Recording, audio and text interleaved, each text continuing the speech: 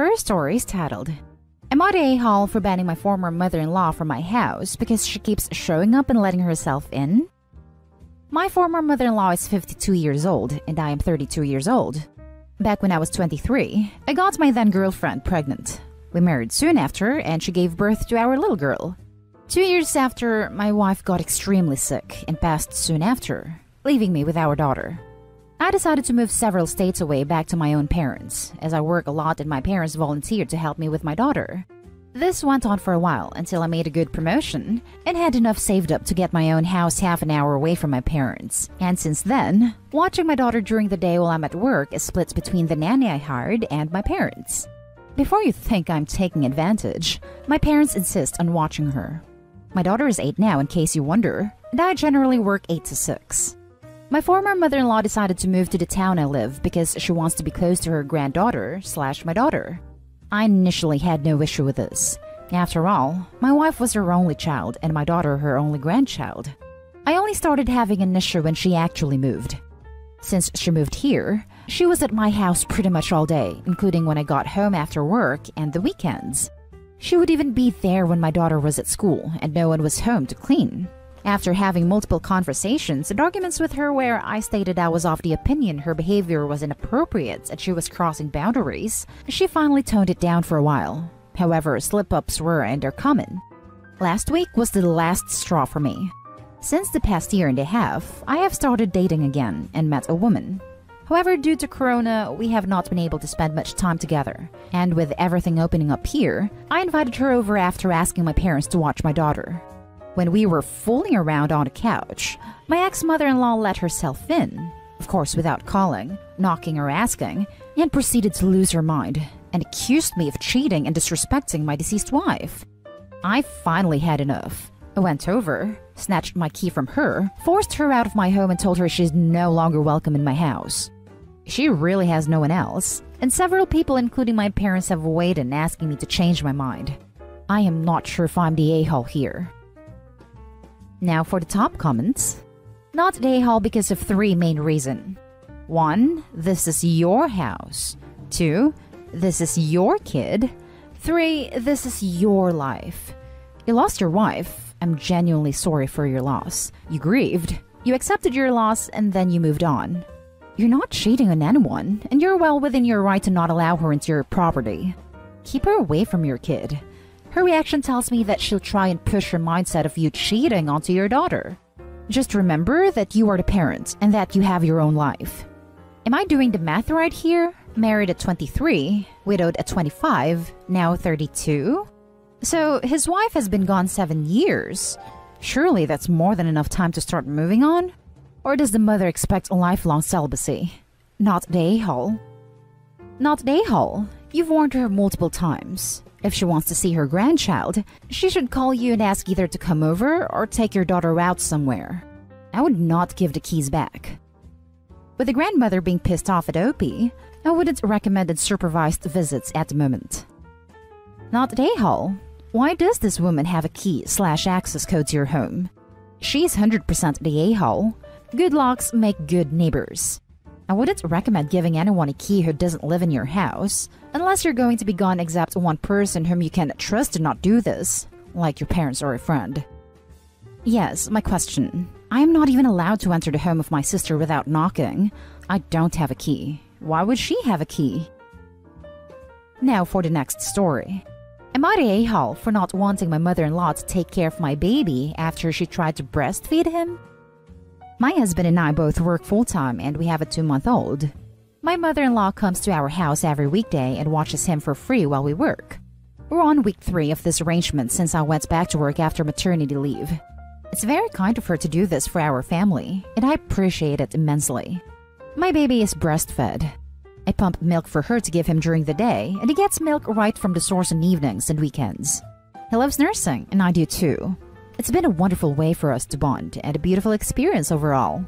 Yesterday, while I was at work, I opened the baby monitor app on my phone to check and see if my mother in law was able to get him to take a nap in his crib. She had been texting me saying he was crying really hard, so she was thinking about just holding him for a nap. So I wanted to check and see if he was okay and if she ended up just holding him. When I looked at the camera, Mother in law was holding him, and she had her shirt up and he was latched on her breast. I was shocked and horrified. I called her right away, and she didn't answer, so I had to sit there and watch her attempt to breastfeed my baby. He was latched on, but obviously not getting any milk as my mother in law is not lactating. I called my husband at work, who eventually got a hold of her. Apparently, the baby was crying so hard, and that was the only thing she could think of to calm him down enough to sleep. She breastfed all four of her children when they were babies, and it always calmed them down enough to sleep.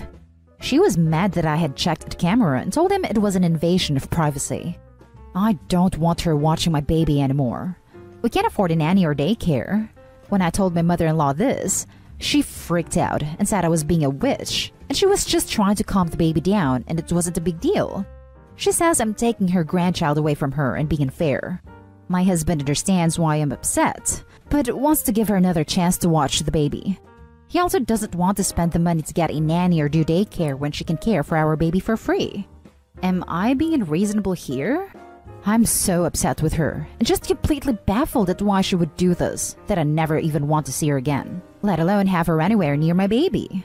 I think I could possibly be the a-hole for checking up on her through the camera and also for not wanting her to watch my baby anymore, even though that would mean spending extra money and taking away something she really seems to enjoy doing. Am I the a-hole? Not the a-hole. No normal human tries to breastfeed a child they're entrusted to look after. This is not healthy slash sane behavior. I would be concerned that she has other issues. Her reaction is telling as well. Again, a normal human would be supremely embarrassed and apologize. She may be lashing out because she's embarrassed, but it's not acceptable for her to swear at you or gasp, be incensed that you used a baby monitor for its intended purpose. This is exactly right. Clearly, her mother in law's judgment cannot be trusted. I wouldn't trust mother in law alone with a baby in any capacity, and I definitely wouldn't trust her to provide daycare services. Mother in law crossed a boundary that should have been obvious. And why would she think latching the baby to her breast would calm the baby down? There's no milk. I find this so revolting. I think mother in law should be in timeout for a very, very long time. Mostly because I wouldn't be able to stomach seeing her if my mother in law did this. Not Dayhole. I'm so shocked. Has she never heard of a pacifier? My mind would never go to breastfeeding another person's baby. I'd have a hard time facing her altogether. He won't take a pacifier. We've tried, but she could have tried giving him a bottle, and she didn't. Not A-Hall. That is so beyond words inappropriate to me. WTF was she thinking? Her judgment is highly suspect. The fact that she defended herself by saying you invaded her privacy. And hello, she's watching your kid and shouldn't be doing anything that requires living room privacy at that point. And that she doesn't even consider what she did as wrong clearly means she's not capable of safely taking care of your child. I agree wholeheartedly with this post. I would definitely not consider unsupervised time with a little one for crazy grandma for the foreseeable future. That is your baby, not hers. The next story is titled, Am I the a-hole for asking my mother-in-law to stop hanging out with our kids while our nanny's here?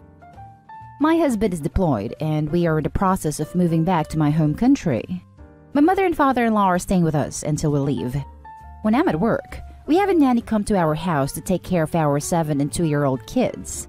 My in laws are staying in a studio apartment under our house that has everything they need, with its own separate entrance. When I'm home, they hang out in our house, which I'm completely fine with. The problem is that my mother in law likes to hang out in our house while the nanny's here.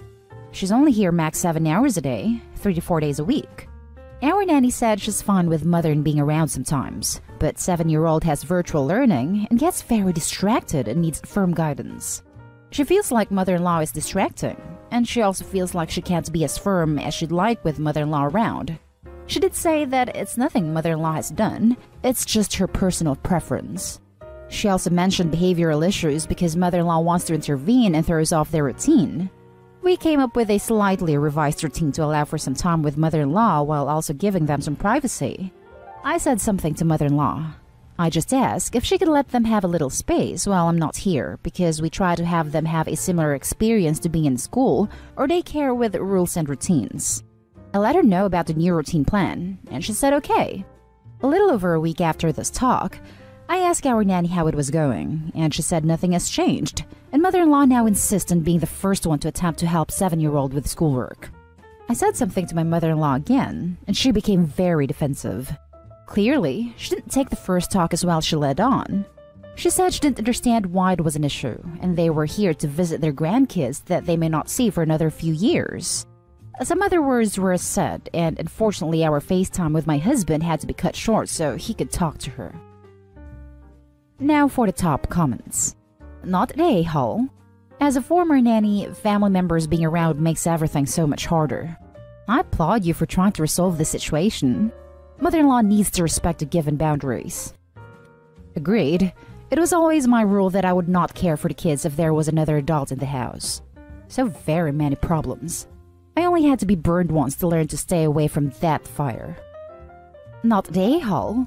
Virtual learning is already not an ideal situation, and mother in law is making it worse by distracting her. Your nanny is 100% right in speaking to you about this because mother in law is essentially hindering your child's school. Not day hole. I used to nanny for a family with a set of twins, and the second a family member was around, it was like I lost all authority. It really does make the nanny's job much more difficult. You made a right call. Not day hall. Grandma's living a minute away, so she doesn't need extra time. Grandma visits her daily, so they now need to fit the daily routine. Hard stop if school is being disrupted and authority figures are being undermined. The family is moving to another country, so mother in law is trying to get as much as she can. And it sounds like Opie understands, as they adjusted the schedule to give her more. It's a shame mother in law isn't more appreciative. Now for the last story. Am I the a-hole for telling my mother-in-law she's fat? My mother-in-law is a retired home economics teacher and extremely obese. I would guess she's 5 flat and 300 pounds. My kids and I are a little scrawny, but active and eat fairly well. Sometimes I allow them to have a soda when we go out to eat. Sometimes they don't eat their veggies or finish their meals. I'm half Asian, so believe me, my parents were the same flavor of, you best finish this food we earned for you but they've chilled big time. They don't push their grandkids to finish or if they don't want to eat green beans. It ain't the end of the world. My mother in law lectured me to know and about nutrition and how she raised my husband and his siblings. Her daughter is also morbidly obese. I have said nothing until I finally lost it. I asked her if she honestly felt she was in a position to give me advice on eating. Her response made me feel bad. She said she understands nutrition but is an emotional eater a food addict, as is her daughter, and my husband told me I shouldn't have said his mom was fat. Am I the a-hole? I feel like one, but then when I think of how much she lectures me, I feel justified. My mother lectured me to know and about nutrition. I would guess she's 5 flats and 300 pounds. Her daughter is also morbidly obese. It's just plain rude for her to lecture you about your eating habits or how you raise your own kids. Even if she was a healthy weight, she should keep her opinion to herself. Having a degree in home economics doesn't give her any authority to hand out and ask for advice and criticism of anyone's eating habits. Not at A Hall. Thank you. I may be the a-hole and I feel bad. Reading these comments helped me see her perspective. However, I have a limit on being treated like a moron. You are doing just fine the way you are raising your children and teaching them to have a healthy relationship with food. You aren't an a-hole to be annoyed by your mother-in-law criticizing your parenting. Is she getting therapy and guidance in how to handle her eating disorder? Is she getting help for her daughter? What makes your mother-in-law the a-hole isn't that she's overweight or has an unhealthy relationship with food. It's that she's got the absolute gall to lecture and criticize how you let your children eat food when they are healthy, normal weight. She doesn't know what the hell she's talking about. Maybe she's remembering something she learned in a college course years and years ago and wants to present herself as a nutrition authority. But her unasked for lectures are ultimately tiresome, misguided, and pointless other than for her to stroke her own ego. You really are not an a-hole here. She needs to shut up about how you raise and feed your kids. No therapy. There's a lot of addiction in their family, as well as a lot of pridefulness. Thanks for getting it. A lot of it is that she's know it all and a busybody at my expense.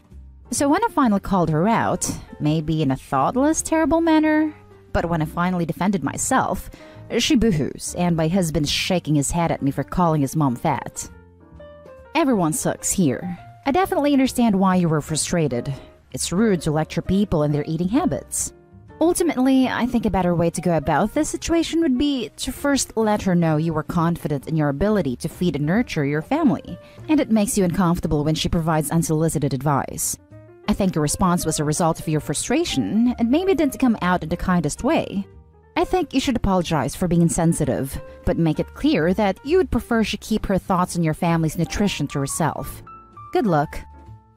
She should apologize to mother in law because obese mother in law with obese child is lecturing her on her children's nutrition and she had enough? No.